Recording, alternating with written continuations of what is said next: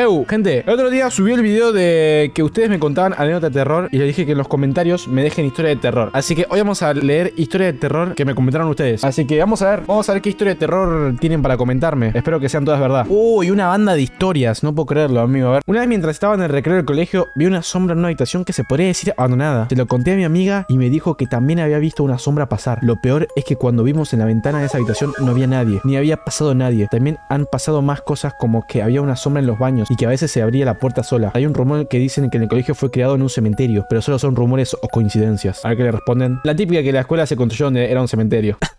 bueno, no sé, boludo, no sé. A mí me da miedo un poco mi escuela a veces, ¿eh? Yo siempre he tenido sueños un poco raros, pero hace unos cuantos días tuve un sueño rarísimo. Estaba yo en la escuela, las clases todas normalitas y eso, pero luego veo a la profesora, solo movía los labios, no decía ni una sola palabra. Entonces entré en razón, ya que todo ese lugar me parecía muy irrealista. Yo, cuando me doy cuenta de que estoy soñando, me inclino atrás hacia, hacia adelante, pues siempre me funcionaba, porque me despertaba al instante que hacía esa acción. Pero esta vez fue diferente, pues estaba inseguro. Y si es que no era un sueño, iba a quedar como un completo idiota. Entonces dije lo siguiente. ¿Esto es un sueño?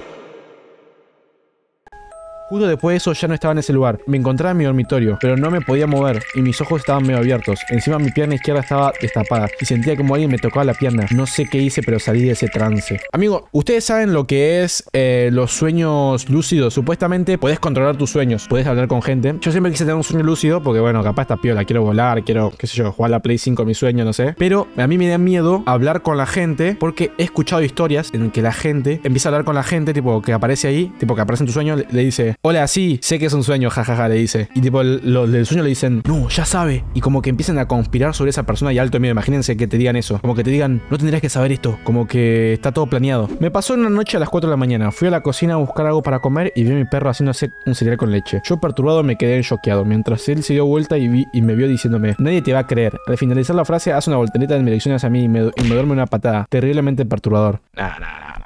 ¿Será verdad esto? Yo le voy a contar unas cuantas historias. Pónganse cómodos que hay unas cuantas historias. Uno, yo una vez tenía 7, 8 años, siempre veía videos de terror. Y como me daba mucho miedo la noche, me pasaba a la cama mis papás. Y cuando me pasé a su cama, había una silla en la cocina. Porque de la pieza se veía la cocina y en la silla estaba colgada una campera de Jovi que la jalaron re fuerte. Y eso no pudo ser el viento. Tan, tan, tan. Yo un día me quedé en la casa de mi abuela y eran la 1 AM. Porque mi abuela se queda viendo la tele hasta tarde. Ya no íbamos a mimir. Entonces yo pasé por la cocina y vi cómo pasé por el reflejo de la tele. Pero de la nada vi cómo que volvía a pasar. O sea, como que pasé dos veces, pero yo pasé una. Entonces, ¿de quién era el primer reflejo? Tan, tan, tan. Tres. Yo estaba el mismo día en la misma casa de mi abuela, jugando a la pelota en el garaje. Entonces yo lo pateé y se fue al ático. En el ático que hay, y no tiene pared. Entonces pasó por ahí. La cosa es que la pelota se quedó quieta. Y yo dije, bueno, le voy a decir a mi abuelo para que me ayude a bajarla. Y cuando voy, de la nada escucho cómo la pelota se levanta y empieza a picar y cae. Yo me reasusté porque estaba quieta. Y de la nada se escuchó cómo la agarraron y empezó a picar. Tan, tan, tan. Bueno, este le pasó de todo, amigo, igual, ¿eh? Un poquito más y te pasa también que te adopta un fantasma, boludo. Una vez mi abuelo se levantó de la nada y es que él tenía sífilis y le dolía mucho, por eso era muy raro que se levantara. Fue a la cocina, agarró un cuchillo y luego fue a mi habitación. Me tocó una nalga y luego me dijo, no soy tu abuelo, soy tu tío. No, no, no. Amigo, lo estoy, leyendo con concentración y me vienen con esta pelotudez. Corrí rápidamente hacia la habitación de mis padres y le dije a mi madre que tenía cáncer de mama. No sé cómo sucedió porque soy hombre, pero pasó. Desde ese día estoy hospitalizado y me pica la bola izquierda, pero no me puedo rascar porque tengo brazos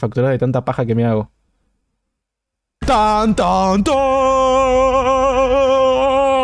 Una vez me dio parálisis del sueño, dos veces en la misma noche, pero bueno, lo peor es que no sé de dónde saqué las fuerzas y las dos veces me levanté. Él o la sombra se reía cuando me levantaba, desde ahí no tengo más parálisis del sueño. Gente, les voy a dar un tip de parálisis del sueño. Yo tuve tantos parálisis del sueño que sé cómo salirme del parálisis del sueño. O sea, generé una táctica para salirme del parálisis del sueño. Hay tres opciones. Se levantan, están en un parálisis del sueño, abren los ojos, no se pueden mover, se quieren matar. No se intenten mover, porque mientras más se intentan mover, más los atrapa. Es como la arena movediza. Relájense, saben que es todo falso, saben que es todo parálisis del sueño. Lo único que tienen que hacer es intentar mover los deditos. Los dedos. Intenten mover los dedos, tipo, vean, vean si pueden mover los dedos, los dedos de los pies. Si es que no pueden mover los dedos de los pies, cagaron, porque ya están un poquito más adentro. O sea, ya están como más profundos. Si no pueden mover los dedos, lo que tienen que hacer es mover la boca. Intenten mover la boca un poquito.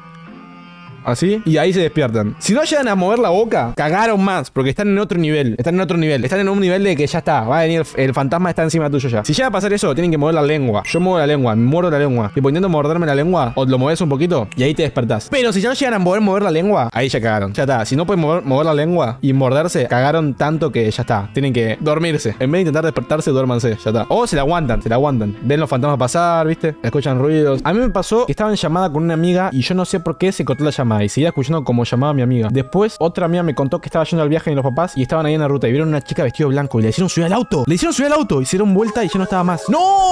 ¡No, no, no, no, no, no! Eso, eso es horrible, amigo. Pará. Voy a estar en la ruta, subir a alguien, darte vuelta y no esté más. No, no, no, me mato, me mato. Ese ya me alto miedo, amigo. Boludo, no, igual a mí me pasó chiquito que estaba solo en mi casa y no sé, antes en todas las casas había teléfono fijo. O sea, ahora, ahora ca- casi en una casa hay teléfono fijo. Tipo, nadie usa teléfono fijo ya. Pero antes, cuando no se usaba tanto celular, se usaba teléfono fijo. Y yo agarraba el teléfono fijo. Y viste que cuando no hay señal se, se escucha tú, tú, tú. Amigo, yo le juro que escuchaba dos viejas hablando. Escuchaba dos viejas hablando, boludo. Que hablaban, hablaban dos viejas. O sea, yo de chiquito no me asusté, nunca me asusté porque pensaba que era un error. Supongo que es un error del- del- de la línea y se escuchaba conversación de otra gente. Pero no sé, boludo. Capaz eran dos fantasmas. Hablaban, no sé, no me acuerdo que hablaban. No me acuerdo ni una conversación, pero hablaban. Hablaban tipo, te voy a matar, pibe. Ah, no, no sé. No, y lo que me pasó una vez. No, no, amigo, eso me quedó alto trauma, amigo. Me quedó un retrauma, boludo, de chiquito. Estaba solo en mi casa. Imagínense, yo con. Tenía, qué sé yo, 7 años. Fuera de tenía 7 años, 8 años. Ring, ring, suena el teléfono de mi, de mi casa. Bueno.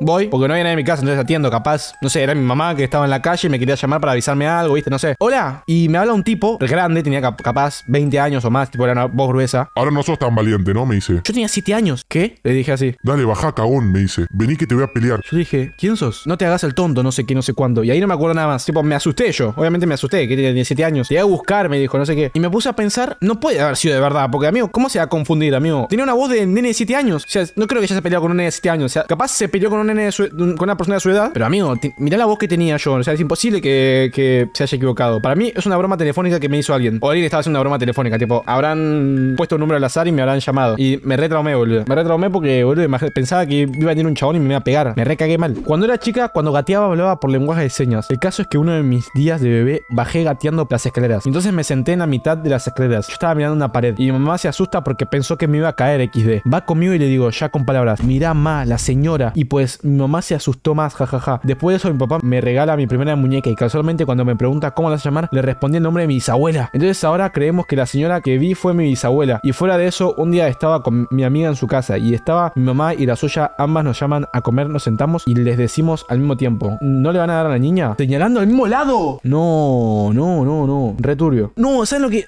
No, no, para, para, para, lo que me pasó una vez a mí también. Amigo, ah, me estoy acordando de todas las cosas que me están dando terror chiquito. Una vez estaba en mi casa, era de día, la de mi casa, o sea, la puerta que conecta con el edificio, o sea, la puerta para salir, son dos puertas de madera que abrís una y puede salir la otra también, pero la otra nunca la abrimos, siempre salimos por la izquierda. Pero tenía como en el medio una reja y tenía un. vi- ¿Vieron los vidrios translúcidos? Que como ves siluetas, no ves a la persona en sí, o sea, no le ves los, los rasgos fáciles, ves como una silueta. Estaba solo en mi casa y a mí siempre, no sé por qué, me da miedo abrir la puerta de mi casa. Me da miedo abrir la puerta de mi casa cuando tocan timbre. No sé por qué. Como vivo en un edificio, es raro porque para llegar a mi casa primero tienen que pasar primero abajo el lobby. Entonces, si tocan directamente en mi casa, es raro, ¿entendés? Entonces, estaba solo en mi casa y escucho timbre. No, no, no, yo me cagué todo. Voy caminando antes de llegar a la puerta. O sea, imagínense que mi puerta es así, la puerta. Ponele que estás afuera, esto es afuera. Acá está la puerta, hay un pasillo y después están todas las habitaciones. Bueno, en el pasillo hay como una pared para llegar al pasillo. Entonces yo hacía así, yo hacía así. Miraba por el pasillo para ver si había alguien afuera. Había una persona y nada, dije, no, hay una persona. Me quiero matar, boludo. Porque no es el timbre de abajo, es el timbre de arriba. ¿Qué hago? ¿Le abro o me hago el boludo? Listo, no le abro. No le voy a abrir. Alta paja, voy a hacer como que no hay nadie en mi casa y ya fue. Pum, tocan timbre de vuelta. Tocan todo el tiempo. Todo el tiempo tocando, todo el tiempo tocando. Como por media hora. Y yo estaba re asustado porque digo, no puedo creerlo. ¿Qué pasa? Y yo ni, ni en pedo ir a abrir la puerta porque, porque me da miedo. Bueno, cuestión, después de, no sé, se fue. Después de como tres horas, volvió mi mamá a mi casa y me dijo, ah, me dijo que iba a venir una amiga mía, pero justo salí. ¿Vos sabés si vino alguien? Era la mía de mi mamá, que pensó que mi mamá estaba en mi casa y yo no le abrí la puerta. Así que ya fue, boludo. Me la pela. Ni en pedo iba a abrir esa puerta. Preferí salvar mi vida, boludo. Esta es una experiencia real. Cuando tenía unos 9, 8 años, mi tía me regaló un oso de peluches que son enormes. Yo recibí ese peluche, lo amé con toda mi alma. Pero entonces es cuando comenzó todo lo malo. Yo el peluche lo tenía en una esquina sentado en mi habitación. Y pues cada vez que pasaba, lo veía. Era obvio ya que era gigante. Una noche, cuando estaba durmiendo, sentí que lo que estaba soñando era demasiado real. Podía moverme, gritar, etcétera, etcétera. En esta pesadilla en la que aparecía este oso, era que comenzaba a moverse. No moverse de andar, moverse de teletransportarse. Cuando yo no miraba, cuando desperté de ese sueño, le cogí un miedo impresionante al oso. Y es que no podía ni mirarlo a la cara. Las noches pasaron y las pesadillas eran peores. Cada vez sentía que había algo en mi habitación, mirándome fijamente mientras dormía. Hasta que le conté a mis papás que pusieran el oso fuera de mi habitación y en un lugar que yo no viese. Cuando lo cambiaron de habitación las pesadillas desaparecieron, pero ya no dormía como antes. Cada noche escucha algo que no escuchaba antes. Eran sonidos pisadas, no muy pesadas, haciendo ruido por toda la habitación, dando vueltas sin parar. Cuando pasaron casi 3-4 meses con estos terrores, mis padres decidieron dar el peluche a la escuela. Lo paranormal de esta historia es que cuando entregaron el oso, los sonidos ya no se escuchaban más. Las sensaciones de que algo me miraba mientras dormía se fueron. Las pesadillas, todo se dejó de notar. Entonces fue cuando mi teoría de que algo raro pasaba con el oso fue real. No eran los vecinos como decían mis padres. No fucking jodas, boludo. Ese oso tenía un espíritu adentro. Esto me pasó por 2020 o 2021 por ahí. Yo tenía entre 8 y 7 años. Amigo, ¿qué es esto? ¿Por qué todos les pasa cosas de terror entre los 8 y 7 años? No puede ser, amigo, no puede ser esto. Yo vivía al frente del parque de mi conjunto. De mi ventana se veía el parque. Yo cada que veía a un amigo mío, digámosle Pepe, me alistaba y salía. Pues para no aburrirme y jugar con Pepe. Me cambié y salí. Apenas llegué al parque, Pepe me dice, ¿te cambiaste de ropa? Yo le digo, no, Pepe, acabé de cambiarme por... El pibe se recagó en mí y dice, es que acabé de salir porque te vi con una ropa negra y la cara se te veía oscura aparte, te veías realta. Me recagué de miedo porque eran como las 4 y media de la tarde y yo todo el día estuve en mi casa al momento de no saber quién era. Tu amigo Pepe probó la marihuana por primera vez, flashó algo raro y pensó que eras vos. Otro más de 7 u 8 años. Cuando era pequeña, tipo 7 u 8 años, estaba en el sillón con mi mamá en un costado y yo tranqui hablando con mi amiga. Y yo de repente siento que miran fijamente. Yo busco quién me mira y en la puerta del garaje que es de vidrio yo vi una sombra tipo silu- silueta. Lo peor saben que fue que nadie lo vio. Yo opté por ignorarla- ignorarlo, pero estaba recagada de miedo, preguntándome si estaba loca, si estaba perdiendo la cabeza y en medio de esos pensamientos la sombra desapareció. Y encima la seguía encontrando en el camino de la escuela, en otro lugar de mi casa, pero gracias a Dios gradualmente fue desapareciendo en mi vida hasta aparecer cada tanto, o sea, te sigue apareciendo. Ah, yo creo que a los 7 u 8 años estás re loco porque estás viendo todo el tiempo serie de televisión, cosas así, pelotudas y te crees todo, ¿eh? Para mí, los, a los 7 y 8 años, yo a los 7 y 8 años pensaba que la vendías. Bueno, está, voy a dejar de leer, boludo. Muy buena historia de terror, boludo.